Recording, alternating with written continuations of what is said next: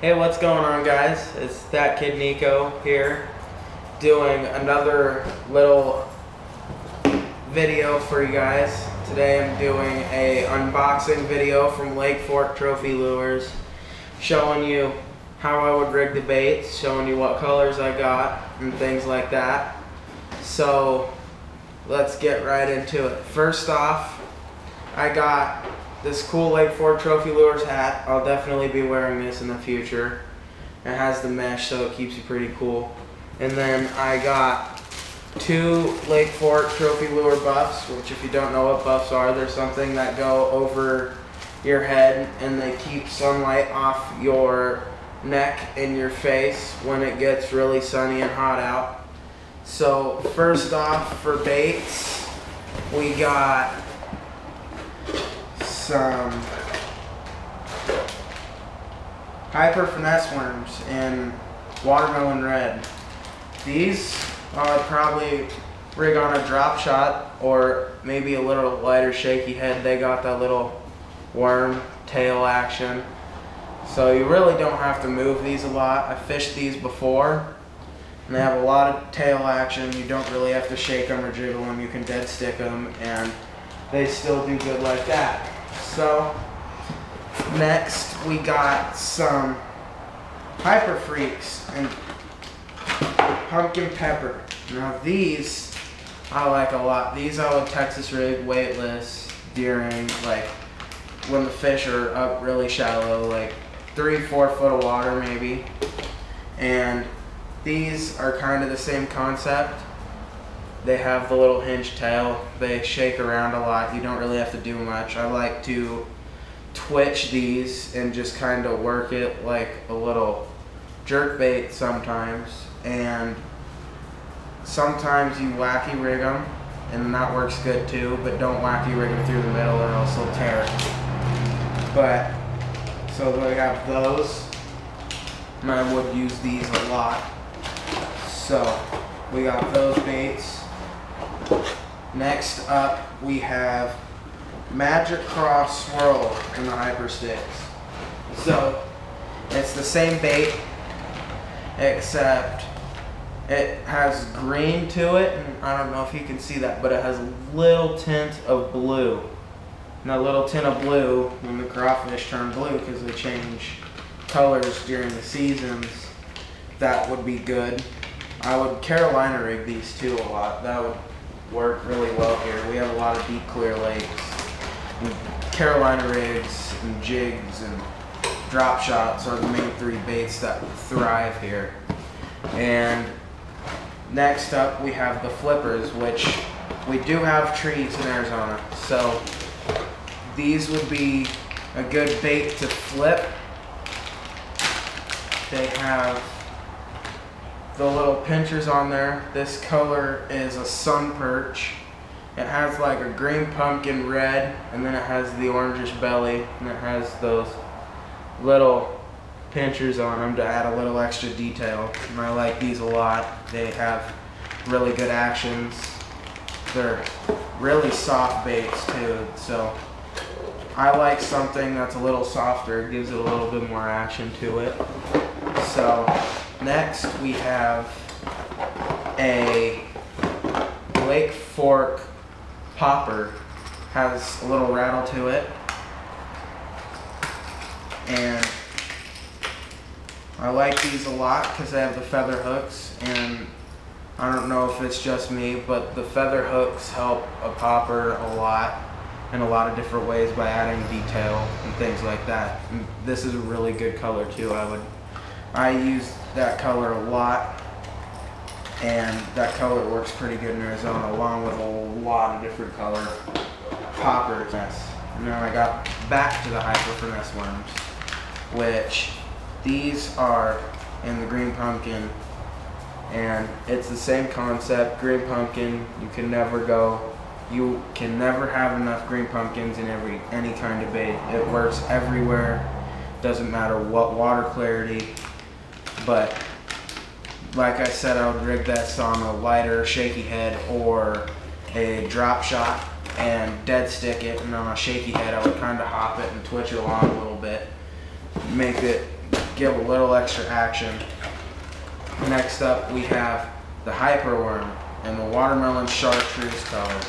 Now this is a bait that I haven't thrown yet, but I have been wanting to try for a long time. It's a really good Carolina rig bait. When you twitch it through the water, this tail moves a lot because it has those hinges on it. Has that big paddle tail to it. It has the really nice colors that work here in Arizona. It has more of a green pumpkin tint at the top, and then it has a pepper chartreuse at the bottom. And those two colors work really good. Chartreuse, purple, and green pumpkin, and brown in Arizona. It's those four main colors that work the best here. I don't know why. I don't know if it's natural color in them or what, but. And then we have more six inch hyper hyperworms and green pumpkin. So the same style bait. Green pumpkin has a paddle tail, nice Carolina rig bait right there. But like I said, there is a lot of deep clear lakes here predominant for drop shot, Carolina rig.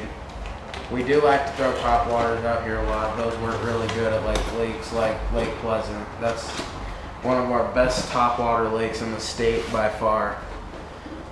Next up, we have our hyperworm and watermelon candy red. Now, it's the same style bait. This has like watermelon candy. It has purple flake, green flake, a little bit of black flake, and on the other side, it has a little bit of flake, but it has a comber side to it. So it this looks on one side to be a little lighter than the other and the other side is flake and the other does too, but it doesn't have quite as much flake. But like I said, another good Carolina rig bait to try out. So, by the way, go check them out for sure. I would recommend them 10 out of 10. Now we got some more six inch hyper worms in the hot motor oil. Now this color kinda, it's a red mold and it has red flake to it. And tomato color, which looks kinda similar to this, has been working pretty good on the west coast for sure lately it had a little bit of a popularity boom and it's been doing really good out here. So that would be a good bait to try. I have a tournament coming up here at Roosevelt here in a while. So I'm going to definitely be trying out a lot of these baits in the next couple weeks and testing them out. I'm sure I'll have a lot on a lot of them. So we'll see what we get on them. Now we got the hyper finesse worms in the tomato color, which is what I was just talking about. And it's that little bit of red. It has that red and black flake in it. And that, that color has been working really good everywhere it seems like. I was just in Texas for a while and they were using that quite a bit and it was working pretty well for a lot of people. So that tomato color is doing really good right now. So we'll definitely try that, like I said, on the drop shot or shaky head for that little hyper finesse worm. Next up, we got our hyper sticks and the watermelon red. So this is another bait like that other one I was showing you earlier that I I like to Texas rig this and fish it in trees like way back in trees with like 15 pound line. It works really good, just twitching it along, dragging it along. And another cool thing is when you pop this thing over rocks, when it shoots up, because it's lighter bait, and it falls back down, it'll kind of shimmy back to the bottom, which can generate a lot of strikes. So we have that bait, and this is also another good Carolina rig bait. I'd use this on a lot of different stuff, a Texas rig, Carolina rig, stuff like that, tossing it back in the trees weightless. But next up, we got our hyper sticks again, and this is another sun perch color. It has that orange and it has that watermelon tint to the top, and this imitates a lot like bluegill with that darker back and that little bit lighter stomach that they have to them. And they just swim along and bass. One of their main forages here are crawdad and, crawdads and bluegill. So you kind of get the best out of both worlds with this color. So if you drag it, it can imitate an injured bluegill or crawdad too. So that I would use, like I said just a minute ago, on a Carolina rig. Next up we have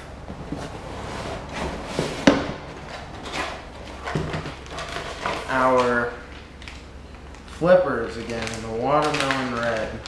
Now this is another color of that flipping bait I was showing earlier with the little pinchers on it right there.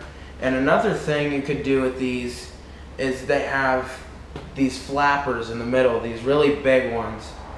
And one thing I like to do a lot of times to get a little extra action out of it is I'll break them apart like that. They're connected by a little piece of mold and I like to break them apart. It just, when they're sitting up like that, these pinchers will be standing up like that and when these things are in the water, this these will kind of flail around. So it just gives it a little extra action that those fish need to trigger them to bite sometimes.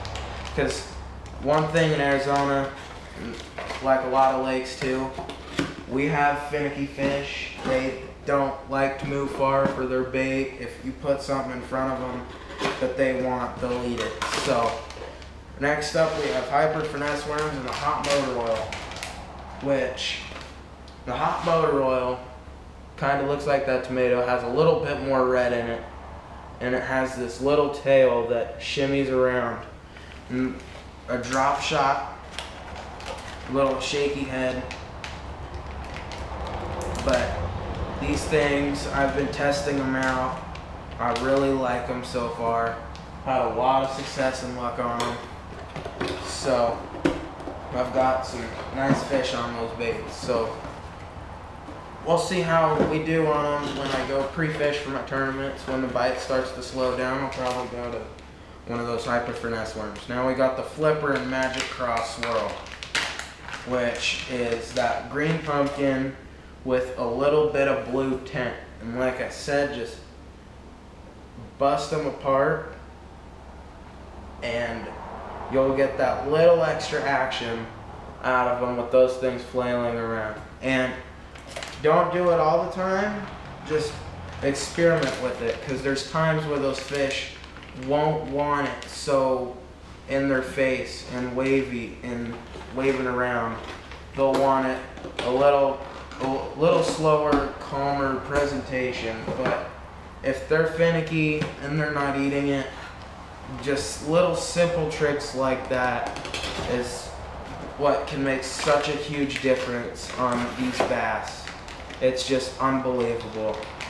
And now we got flippers and the killer craw, which I like this color a lot. It's probably my favorite color out of all of these. It's a green pumpkin with a little bit of orange and green fleck.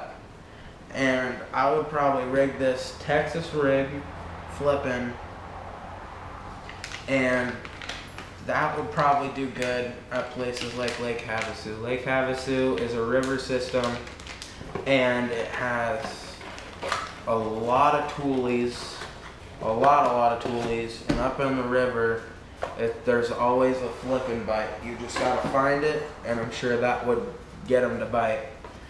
So next up, we got more flippers and the green pumpkins.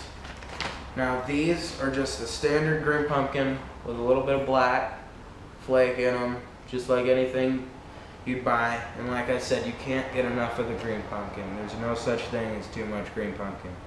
It works everywhere. Clear water, muddy water, stained water, dirty water, every kind of water clarity there is. it works and I've caught them on green pumpkin in two inch visibility, and I've caught them in 35 foot of visibility. So on this green pumpkin, so it doesn't matter the water clarity. Green pumpkin works year round, all the time. It imitates so many different things: crawdads, bluegill, so many different things that bass will eat and will trigger them to bite. So just keep that in mind. If you think they're not eating green pumpkin, they will. You just gotta find the bait they want and they'll eat it in a green pumpkin, I'm sure. So, like, okay, like hyper finesse worms and the watermelon red. So, or watermelon seed, I'm sorry. Uh, it's a little lighter. It kind of, it's kind of like a green pumpkin. It has a black flake to it, but the molds on these are a little bit lighter than the green pumpkin. And like I was saying earlier about the green pumpkin working everywhere all year round, watermelon seed will too. It's just a little lighter.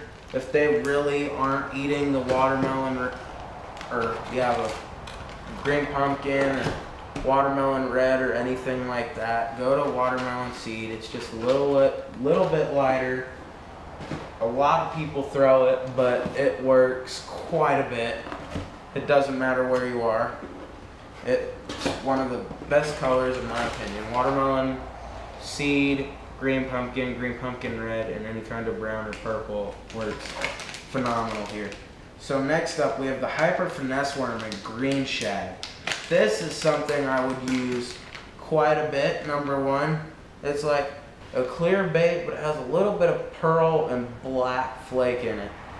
And this is something I would use up shallow on a drop shot when the shad are spawning because there's so many bass after they're done and everything like that and the shad spawn starts happening there's going to be so many shad up shallow so this would be a good bait to use up there when those bass are looking for a meal and they're up there shallow getting ready to spawn doing their thing so like I said, that on a drop shot is phenomenal. And drop shot, the depths, I've caught them, it tends, for me, the deeper you go with a drop shot, the bigger they get. But you can go up shallow on a drop with a drop shot and catch big fish just as easy. You just gotta find the big school of them find the school of nice sized fish and you'll catch them. Like, I went out at Lake Havasu where those flippers will probably work good on that river lake and caught a six pounder on a drop shot in like 20 foot of water. And if you go up here, you can catch fish in two foot of water that range from a half a pound. But if you find a big school of them, there'll be quite a big, big quite a lot of big fish in there. So next up we have the hyper finesse worms and the per chart pepper. It's a little bit lighter. It's like kind of like a really light color of mud, if that makes sense. And it has a little bit of brown to it, or black fleck and brown fleck to it. And this bait would work really good on a drop shot or a shaky head because when this thing is standing up, these baits float. So when even on the, a drop shot, when if you leave a little bit of slack in, it'll fall really slowly because of that hook weight, but it'll still fall and that tail will quiver down and it'll trigger a lot of strikes. So that's how I would rig it. And then one last thing in here we got our tungsten weights. And I love tungsten weights for drop shotting, or Texas rigging, I'm sorry. Uh, I love them for Texas rigging. I use one ounce or three quarter on a Carolina rig right there. And then, so I'll use a lot of half ounce 3 eighths ounce when I'm Texas rigging. I don't usually go 3 quarter to 1 ounce. We don't do a lot of punching here. But if you go flipping way back into a lot of grass and it's thick, or if you're flipping a lot of thick li- lily pads, I suggest a three quarter to a one ounce weight. But that's all we got for today, guys, for the unboxing video. Thanks for watching. Check out my social media sites, That Kid Niko on Instagram, Facebook, Snapchat, Twitter, all of those. Once again, thanks for watching. Thanks for all the Lake Fork Trophy Lures support. And I will be using Liquid Mayhem on all of my baits. It is one of the it is the best scent I have ever used. I wasn't a big believer in scents until I met Liquid Mayhem, and Liquid Mayhem has had quite the impact on how many fish I catch. So I suggest checking them out, Lake Fork out. I'd just like to give a thanks to all my sponsors and for all their support. Lake Fork Trophy Lures, A&M Graphics, Liquid Mayhem, Oven Vision, uh, DJ Custom Jigs, Denali Rods, Rod Socks, Lake Fork, or Lucky Tackle Box. They do so much for me, and I'd just like to acknowledge them for all the support they have and for all the care they've given me over my fishing career and what they've done for me. So I'd like to thank them all for that. So go check them all out on social media Facebook, Instagram, Twitter, all the social media sites. So go check them out and thank you guys for watching.